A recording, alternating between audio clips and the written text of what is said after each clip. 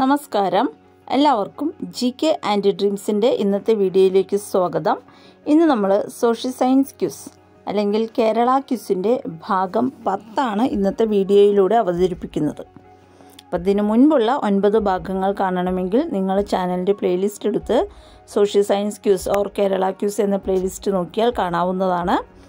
ഇത് കൂടാതെ തന്നെ വിവിധ വിഷയങ്ങളെക്കുറിച്ചുള്ള ഇരുന്നൂറ്റി പതിനഞ്ചിലധികം വീഡിയോകൾ ഓൾറെഡി നമ്മുടെ ചാനലിലുണ്ട്. നിങ്ങൾക്ക് വിവിധ മത്സരങ്ങൾക്ക് നിങ്ങൾക്ക് സഹായകമാകുന്ന വീഡിയോകളാണത്. താല്പര്യമുള്ളവർക്ക് ചാനലിന്റെ പ്ലേലിസ്റ്റ് എടുത്തു നോക്കാം. നമ്മളുടെ നമ്മുടെ സമയവും എല്ലാം കളഞ്ഞ് നമ്മളൊരു ചാനൽ കാണുന്നത് കൊണ്ട് നമുക്ക് എന്തെങ്കിലും ഒരു പ്രയോജനം വേണമല്ലോ. അതിൽ നിന്ന് നമുക്ക് എന്തെങ്കിലും പുതിയ കാര്യങ്ങൾ അറിയാനും മനസ്സിലാക്കാനും പഠിക്കാനും ഒക്കെ പറ്റണമല്ലോ. ഓക്കെ നമുക്ക് ഇന്നത്തെ വീഡിയോയിലേക്ക് കിടക്കാം. ചോദ്യം ഒന്ന്. കേരളത്തിന്റെ സിംഫണി എന്നറിയപ്പെടുന്ന വാദ്യം ഏതാണ്? ഉത്തരം ചെണ്ടമേളം. ചോദ്യം ഒരിക്കൽ കൂടി കേരളത്തിന്റെ സിംഫണി എന്നറിയപ്പെടുന്ന വാദ്യം ഏതാണ്? ഉത്തരം ചെണ്ടമേളമാണ് കേരളത്തിന്റെ സിംഫണി എന്നറിയപ്പെടുന്ന വാദ്യം. മറക്കരുത് കേരളത്തിന്റെ സിംഫണി ചെണ്ടമേളമാണ്.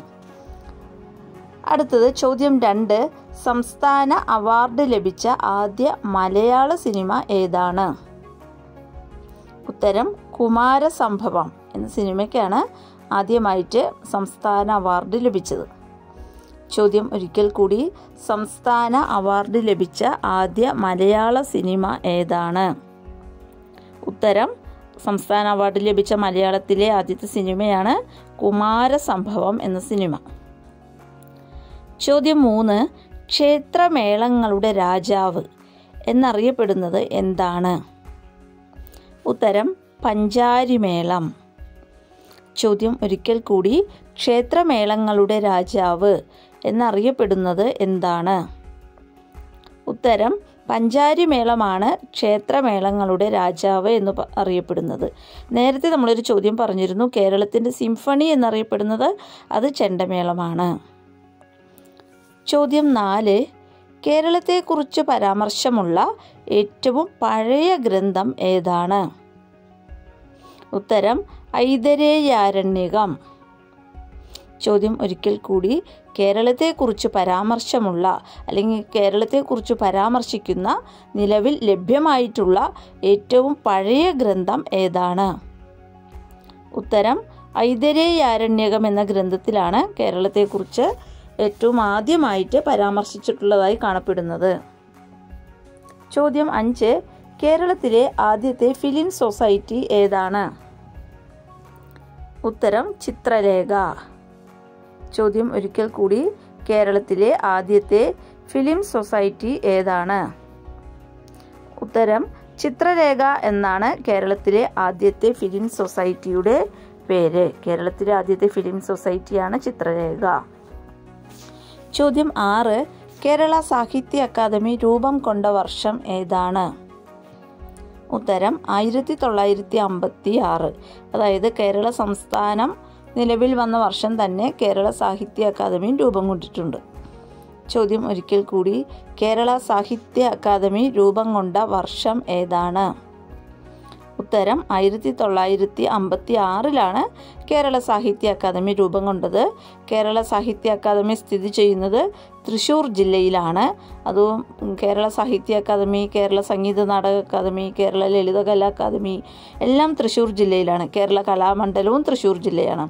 അതൊക്കെ കൊണ്ടാണ് നമ്മുടെ തൃശ്ശൂർ ജില്ലയെ കേരളത്തിന്റെ സാംസ്കാരിക തലസ്ഥാനം എന്ന് പറയുന്നത്.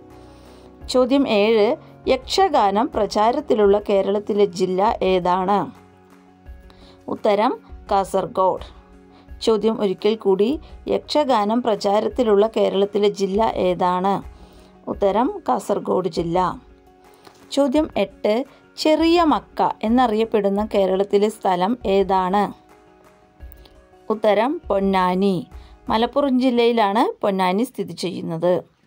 ചോദ്യം ഒരിക്കൽ കൂടി ചെറിയ മക്ക എന്നറിയപ്പെടുന്ന കേരളത്തിലെ സ്ഥലം ഏതാണ്? ഉത്തരം മലപ്പുറം ജില്ലയിലെ പൊന്നാനിയാണ് ചെറിയ മക്ക എന്നറിയപ്പെടുന്ന കേരളത്തിലെ സ്ഥലം.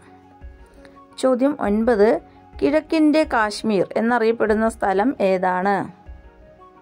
ഉത്തരം മൂന്നാറാണ് അല്ലെങ്കിൽ മൂന്നാറാണ് കിഴക്കിന്റെ കാശ്മീർ എന്നറിയപ്പെടുന്ന സ്ഥലം. ചോദ്യം ഒരിക്കൽ കൂടി കിഴക്കിന്റെ കാശ്മീർ എന്നറിയപ്പെടുന്ന സ്ഥലം ഏതാണ്? മൂന്നാറാണ് കിഴക്കിന്റെ കാശ്മീർ എന്നറിയപ്പെടുന്ന സ്ഥലം. മുൻപൊരു വീഡിയോയിൽ നമ്മളൊരു ചോദ്യം പറഞ്ഞിരുന്നു. കിഴക്കിന്റെ വെനീസ് എന്നറിയപ്പെടുന്ന സ്ഥലം ഏതാണ് എന്നൊരു ചോദ്യം ചോദിച്ചിരുന്നു. അതിന്റെ ഉത്തരം ആലപ്പുഴയാണ്. ചോദ്യം പത്ത്. കേരളത്തിൽ ഏറ്റവും കൂടുതൽ കടൽ തീരമുള്ള താലൂക്ക് ഏതാണ്? ഉത്തരം ചേർത്തല. ചോദ്യം ഒരിക്കൽ കൂടി. കേരളത്തിൽ ഏറ്റവും കൂടുതൽ കടൽ തീരമുള്ള താലൂക്ക് ഏതാണ്? ഉത്തരം ചേർത്തല താലൂക്കിലാണ് കേരളത്തിൽ ഏറ്റവും കൂടുതൽ കടൽ തീരമുള്ളത്. താലൂക്കുകളിൽ കൂടുതലുള്ളത് ചേർത്തലയാണ് ഏറ്റവും കൂടുതൽ കടൽ തീരമുള്ള ജില്ല. നമ്മളൊന്ന് പറഞ്ഞിരുന്നു വടക്കു നിന്ന് രണ്ടാമത്തെ ജില്ല അതായത് കണ്ണൂർ ജില്ല. കടൽ തീരമുള്ള ജില്ലകളിൽ ഏറ്റവും കുറവ് കടൽ തീരമുള്ള തെക്കു നിന്നുള്ള രണ്ടാമത്തെ ജില്ല കൊല്ലം ജില്ല. ചോദ്യം പതിനൊന്ന് കേരളത്തിലെ ഏറ്റവും വലിയ ജലസംഭരണി ഏതാണ്? ഡാം.